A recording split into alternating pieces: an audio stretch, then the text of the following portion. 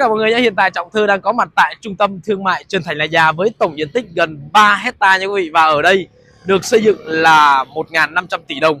Và ở đây thì chúng ta có thể thấy ạ một cái trung tâm cực kỳ đẹp nằm ở giữa giao lộ quốc lộ 14 và quốc lộ 13 trước mặt trung tâm thương mại Trần Thành La Gia là mặt tiền đường quốc lộ 14 với lộ giới của à, trục đường này là 60m và chạy thẳng chúng ta sẽ về Đồng Xoài và các tỉnh Tây Nguyên và hướng ngược lại đi miền Tây.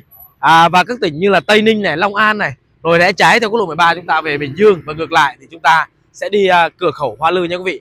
Ở đây thì chúng ta có thể thấy ạ trung tâm thương mại Trân Thành La Gia mở lên cũng là một cái à, sự thay đổi à, đột phá của Trân Thành và mang lại nhiều cơ hội à, mua sắm nhiều cơ hội vui chơi giải trí tại khu vực này. Và hiện tại đằng sau lưng trung tâm thương mại Trân Thành đang xây dựng chuỗi nhà hàng khách sạn. Đấy nhà hàng khách sạn và vui chơi giải trí đằng sau lưng. Và ở đây cách trung tâm thương mại Trân Thành La Gia với bán kính chỉ 3 km hướng chúng ta chạy về Đồng Xoài ạ.